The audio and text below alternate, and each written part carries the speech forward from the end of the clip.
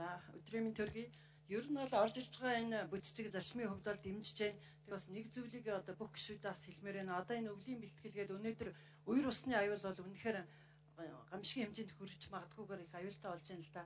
Хаасайг орон сууцны хороолж, гудамж талбай, гэр хороол дээр бол бүр айл одоо маш хүнд байдалтай болж байна. Тэгэхээр энэ засгийн газар маш хурдан үйл ажиллагаагаа явуулаад ингээд бүтцээ бид нар өнөөдөр их хурл бас баталчих нь чухал байгаа учраас би бас гişүүдтэй гормын санал гаргаж саналаа одоо татчаваад аль болохоор хурдан энэ бүтцийг өнөөдөртөө өгн батлаад явуул зүгээр юм. Анхны хилцүүлэг дээр бид зас залруулах чухал зүйлүүд бол хийчих бүрэн болцоо байгаа гэдгийг юуны өмнө хэлье гэж бодож байна. Тэгж уриалж байна. Тэгээд өөрийн нэг санал байна.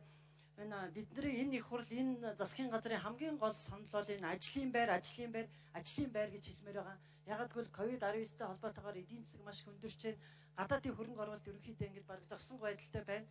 Тэгэхээр дотоод гадаадын хөрөнгө оруулалтын асуудал энэ үйлдвэрлэлд яагаад гişүүд эдийн засгийн хөгжлийн яамтай байя гэд бид өмнөх их хурлаар бид ажлын хэсэгт нь ороод бүр эдийн засгийн хөгжлийн төлөвлөлт түүний удирдлагын тухай хуулийн шинжилсэн найруулгыг хүртэл ингээд баталгаад гаргаад явж байгаа. Тэгэхээр соёлын яам мэдээж чухал. А энэний хажуугаар эдийн засгийн хөгжлийн яам юм уу? Энэ өөрөө чухал байр суурь эзэж орох хэрэгтэй байна.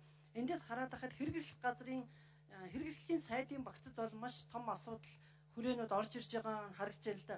Өмнө гадаад харилцааны сайдын багцад гадаадын хөрөнгө оруулалтын асуудлыг хариуцсан дөрвөн хүн хүнтэй гэтэл гадаадын хөрөнгө оруулалтын асуудал ямар чухал байгаа илээ. Энэ бүтцийг бол бид томруулж ач холбогдол өгөх ёстой гэж ярьж байсан. Тэгэхээр одоо миний энэ харж байгаагаар бол хэрэглэх газрын э, сайдын багцад хөрөнгө оруулалтын нэгдсэн бодлого гадаадын хөрөнгө оруулалтын бодлого зохицуулалтын бүртгэл гэдэг ингээд хамаг юм л хэрэглэхийн багц руу орсон харагдаад их яаж ачаалаад дийлэх вэ референтүүд аваад явна гэж сая яриад байх юм Энэ бол дэндүү нүсэр том харагдаж байна. Тэгэхээр энэ дээр эргэж харах хэрэгтэй болов гэсэн бодол санаатай байна. А хоёр дахь асуудал энэ агарын бохирлыг бууруулах асуудал дээр энэ сая бид үнэхээр реформ хийж 50% бууруулсан. Одоо 80% гэсэн зорилго тавьж байгаа хөдөө орон нутаг гэж ярьж байгаа.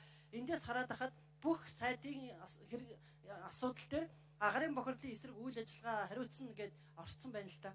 А сая бол байгаль орчин аялал жуулчлалын сайд орчны бохирлыг бууруулах үндэсний хороо гэж бий болгоод зөвхөн ерөнхий сайдын удирдлагын дор байгаль орчин аялал жуулчлалын сайд нийслэлийн цэцэг дарга гээд цов ингээд цомтоо явсан төсөв нэг урсгалаар гарсан.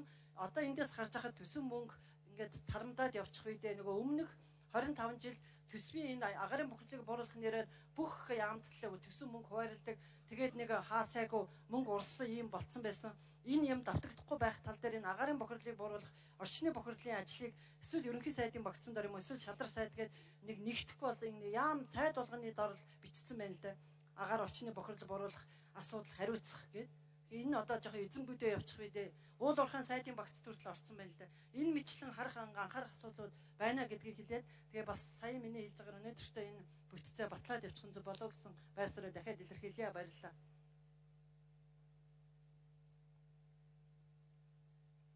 За Гамбатар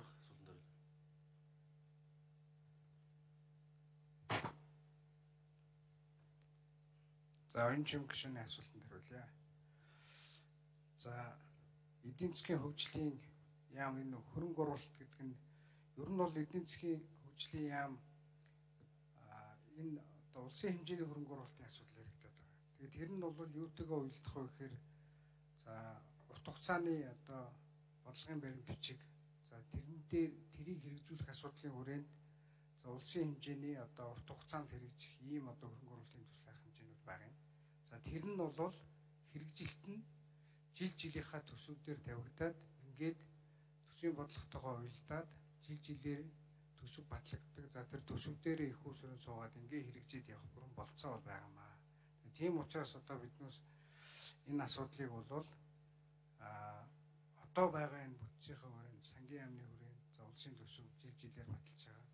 За дээр нь дунд хугацааныхаа одоо төсөөллөө бариад ингээд хөгжлийн шин чанартай төсөл хөтөлбөрөө үндэсний хөгжлийн газрын үр функцийн хүрээнд төлөвлөлтөө хийгээд ингээд явах хүрэн болцоотой гэж ингэж харж байгаа маа.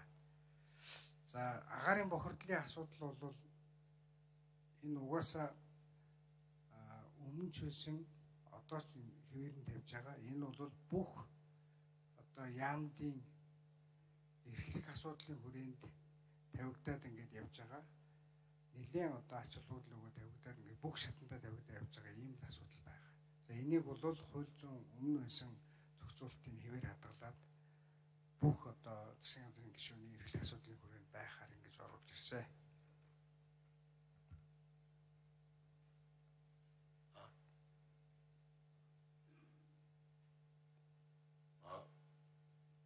Оюун чимэг шүүний гормын санал. Одоо энэ